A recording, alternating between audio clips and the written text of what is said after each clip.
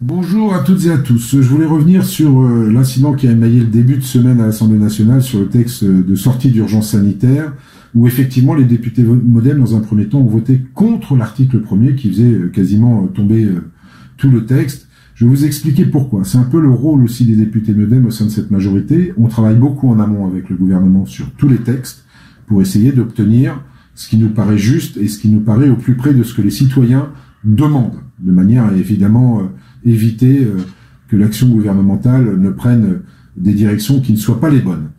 Et sur ce texte-là, nous avions fait plusieurs propositions, dont une euh, qui était la, date de sortie de l'état de transition d'urgence sanitaire, qui était donc nous, pour nous le 30 septembre. Plus tôt elle était, le mieux c'était. Euh, le gouvernement est resté bloqué sur le 31 octobre. et puis on avait fait, on avait fait une autre proposition sur la réouverture des discothèques, secteur qui est, qui est frappé par la crise depuis 14 mois, au 1er juillet, euh, sur condition de l'utilisation du pass sanitaire pour des questions de sécurité sanitaire que vous comprendrez bien. Là, pareil, ça a été balayé par le gouvernement et d'une manière qui n'a pas été euh, très sympa. On, on, était limite dans le déni de démocratie. Alors, quand on arrive à faire les choses en amont, vous le voyez pas, mais quand on arrive à faire les choses, quand on n'arrive pas à les faire, eh bien, ça produit ce qui s'est produit hier.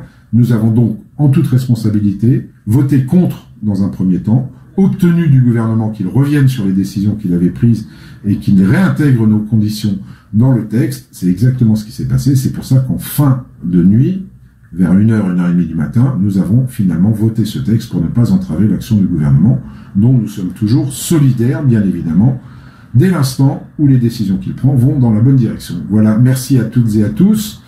Euh, N'oubliez pas, si vous avez des questions, de nous interroger. Nous répondrons dans les plus brefs délais. Merci.